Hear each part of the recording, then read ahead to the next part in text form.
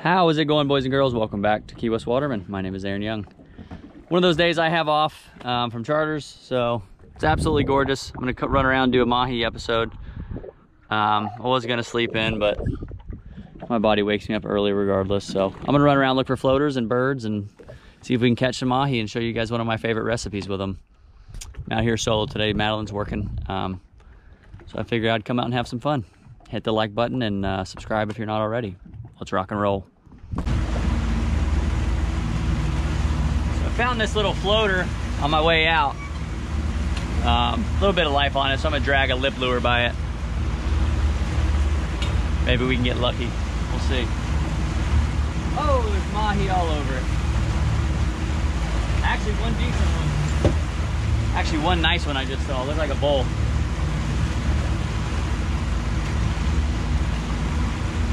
Something ate it.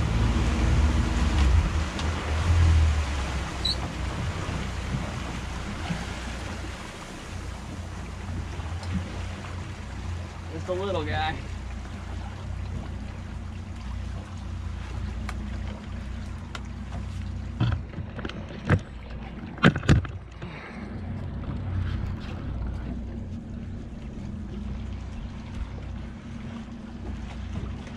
Hoping for a wahoo, but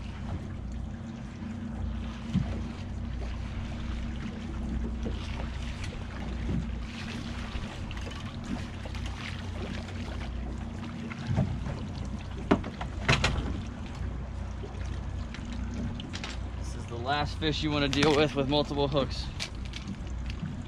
There we go.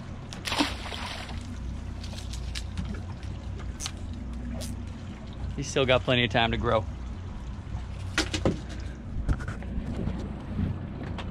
Pull back over there, see if we can. There was one nicer fish actually.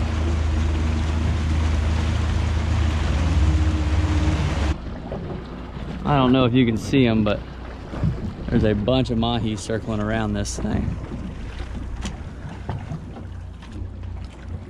Throw them a few squid, see if they'll eat.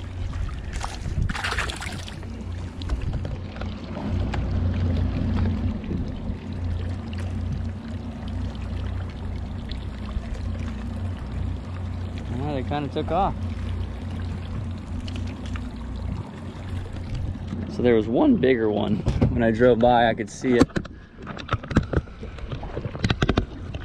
Small ones, I don't catch a lot of mahi. I'm not too concerned about catching a small mahi or sinking the boat in them.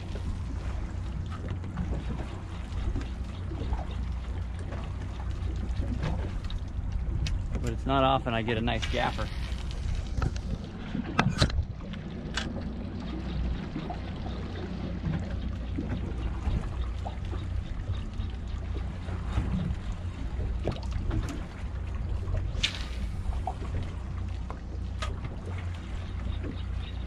I'm just throwing a little squid jig and I'm mahi like the chase, so I'm just ripping it across. Oh, here they are right here.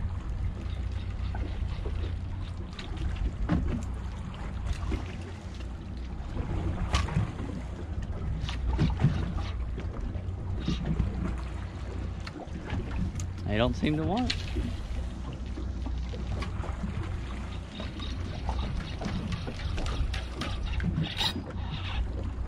Oh, that one wanted it.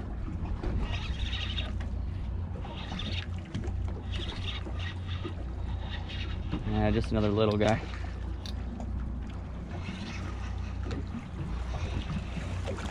Decent, decent bull following him around. Hopefully you can see this.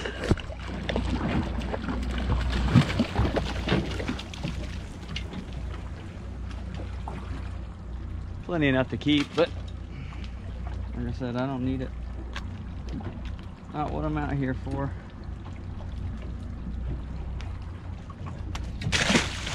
Go on and grow, brother.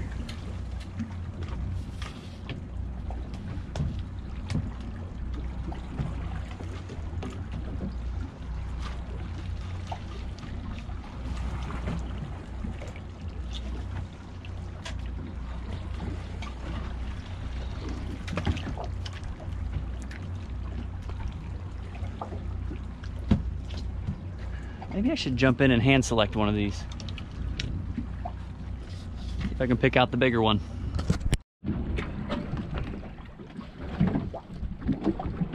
So I'm gonna hop in, got a nice piece of debris floating. Um, could hold wahoo. Saw a decent sized mahi on the surface, but I was having trouble. The small ones are picking at it. So if there's a nice bigger one, I'd like to harvest that, let the little ones grow a little bit. I'm gonna dive in and see what we can see.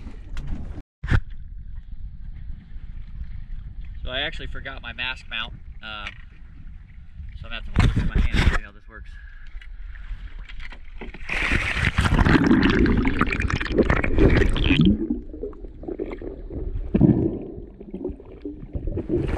Okay.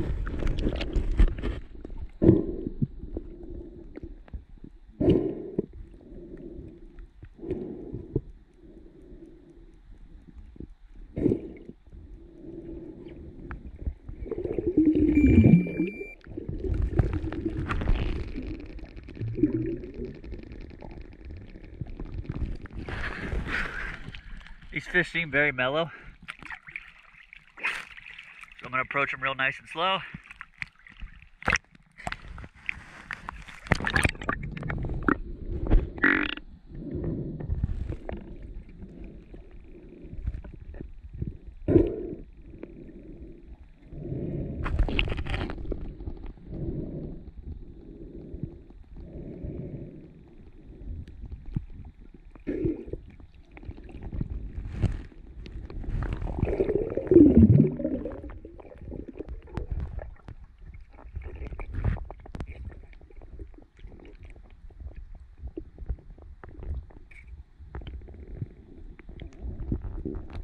de que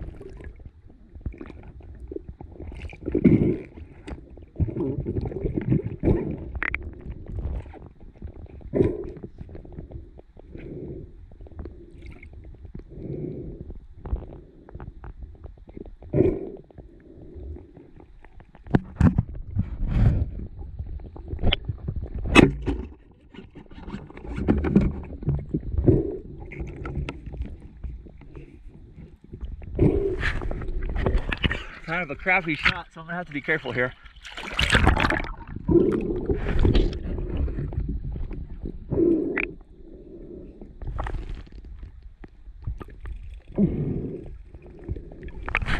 A little low in his gut. I don't want to pull this. I don't want to pull this fish out. I might have to put the camera down.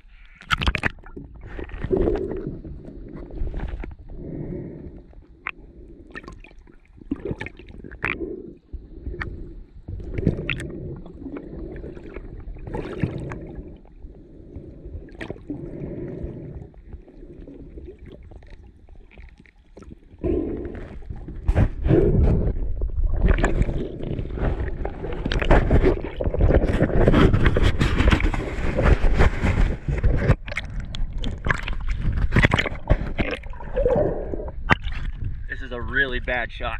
I shouldn't have shot from the surface, but I did. trying to hot shot, trying to hot shot with the camera. So I'm gonna baby this fish as best I can. Let him kind of tire himself out here. Uh, if I pull on him, it's gonna pull right through.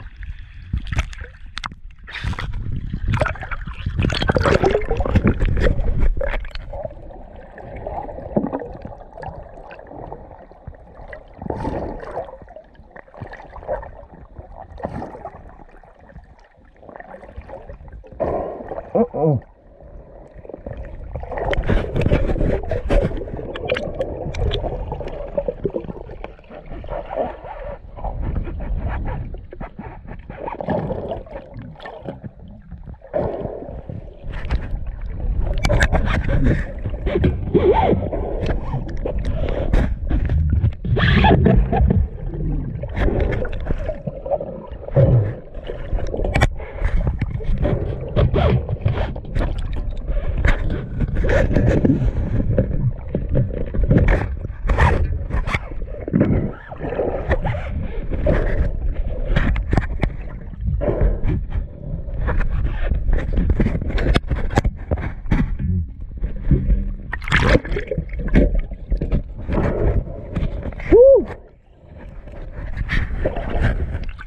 That was worst case scenario.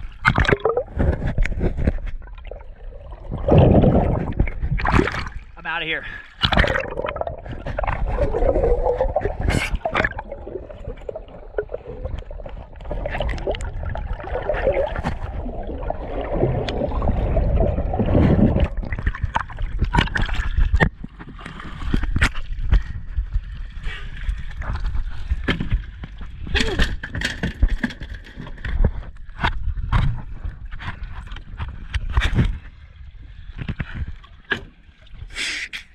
Do not do that at home.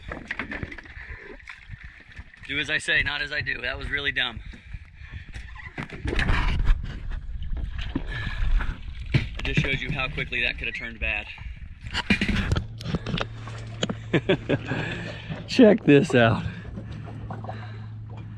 First stop of the day. Beautiful mahi. Lots of small ones. I don't need more than that. Try and get you in the sun here.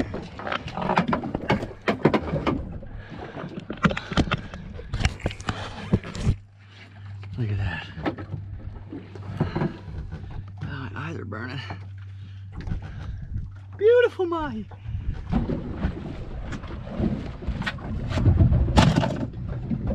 So quite frankly, that is more than I need for the week. Um, lots of mahis around. It's funny, sometimes when you only need one, you see tons and tons of them. But um, that's all I need. I'm gonna turn it towards the barn. Again, look at me, do not do that. Never dive alone. That was probably one of the dumbest things I've ever done. I just have a serious problem. When I see something cool like that, I have a hard time not jumping in. I had intended on catching these rod and reel today, but um, a lot of amazing divers have lost their lives diving by themselves. It's a dumb idea. Don't do it. That was very irresponsible of me. Um, take it from me. But uh, I'm gonna take get this back, get it flayed up, show you guys my favorite way to eat mahi. I'll see you at the dock. I'm back at the house. So I think I've been flaying mahi probably longer than any other fish on the planet. Um, this is just kind of a smaller bull. We haven't been seeing a ton of big mahi the last few years. And I think one of the big things I always see is um, skin pull versus no skin pull. A lot of people um, like to pull the skin off. I'm one of those people. I've always done it that way. Um, just recently, within the last few years, I've noticed a lot of people are skinning the fish with a knife. Um, I haven't noticed a big difference in it. I'll be honest with you. But I'm, I'm a skin puller, and I have been my whole life. So pretty much I just score the entire fish. I'm not going real far back because mahi's kind of a soft, delicate fish. If you go too far under the bones, um, you'll take off more meat than you need to when you do this. So it's a little easier on a bull because that little headpiece pulls right off. Um, try and just get as much as you can. Normally I'll put my finger in the eye. And pull straight back. Um, a lot of a lot, what, what the claim is that you don't get this kind of stringy membrane on top, but when I cook it personally, I don't notice a difference. So, do as you prefer. And kind of just going straight down the back here. These are very straightforward in my opinion. Um, I had a conversation with one of my clients the other day and they were just asking me about my knives and stuff. They were, uh, assumed that I wanted the sharpest knife on the planet. And uh, I told them, quite honestly, I don't really like an extremely sharp knife. I like a, a knife that just has a decent edge, but uh, not too sharp. And the reason being, if you have a, a knife that's too sharp, you cut stuff you're not supposed to.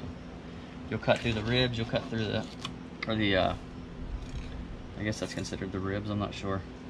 But you'll cut through the back side of the fish onto the other side of the fillet um, if you have too sharp of a knife. So I like a knife that's been dulled down just, just a smidge. And their, uh, their rib bones are pretty, pretty small, but that's why I keep a serrated around. Oh, that came right off. There we are.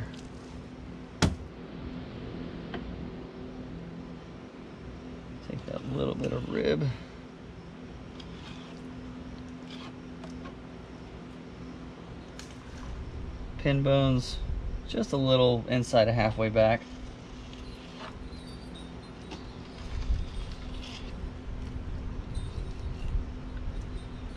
And there we are, the elusive Mahi Mahi. Uh, a lot of people don't like the bloodline in this. I actually don't mind it. Um, maybe that's just because the way I was raised, but it's a Mahi steak. Get that upstairs and um, make a sandwich. I'll see you there. All right, I'm gonna show you my favorite way to eat mahi. I'm not gonna run through the whole recipe. I already made this sandwich. Just kind of want to show you. It's very straightforward. It's kind of a nostalgic thing for me. I've been eating these my entire life pretty much. Absolutely love them. Um, and other than a mahi taco, I think you know mahi taco is kind of hard to beat. It's kind of the go-to for everybody. But this sandwich is one of my favorites. So, uh, chunk of black blackened mahi. Always use Paul Prudhomme's. This stuff is almost like a family tradition. We've been using it for so long.